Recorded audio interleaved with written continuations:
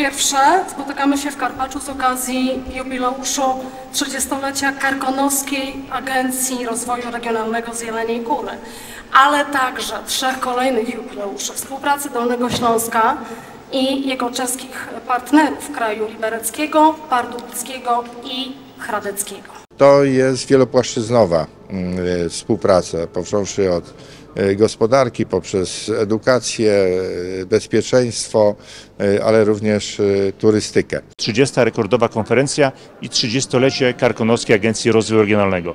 Agencji, która została powołana właśnie ku temu, by integrować i wspierać dolnośląskich przedsiębiorców i działać na rzecz rozwoju całego naszego regionu. Proszę Państwa, KAR w ostatnich e, latach zrealizowała łącznie 30 projektów krajowych i zagranicznych. To są też pieniądze, to jest e, kilkadziesiąt milionów złotych wartość tych działań.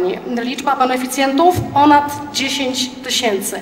I nie udałoby się tego wszystkiego zrobić, gdyby nie zaangażowanie i gdyby nie wsparcie ze strony partnerów zarówno z terenów Polski, ale także Czech i Saksonii, skoro o Trójziemiu tutaj mówimy. Szanowni Państwo, czas na wyróżnienie właśnie tych, dzięki którym Karkonoska Agencja Rozwoju Regionalnego jako lider skuteczności wśród dolnośląskich agencji odnosi tak ogromny sukces z korzyścią dla regionu. To, że Dolny Śląsk tak dynamicznie się rozwija, jest jednym z najdynamiczniej rozwijających się regionów nie tylko w Polsce, ale również w Unii Europejskiej, to zasługa współpracy.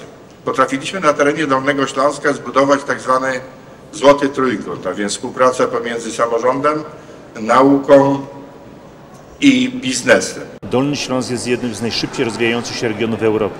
To też dzięki przemyślanej polityce regionalnej, przemyślanym działaniom Agencji Rozwoju Samorządu Województwa Dolnośląskiego, ale też dzięki kooperacji. Duża część inwestycji na Dolnym Śląsku to są właśnie inwestycje ze strony niemieckiej, ze strony czeskiej, bo też nasi lokalni przedsiębiorcy pokazują, że nawiązywanie tych kontaktów gospodarczych powoduje, że firmy się rozwijają, że zatrudniają nowych pracowników i wytwarzają naprawdę ciekawe, często innowacyjne produkty.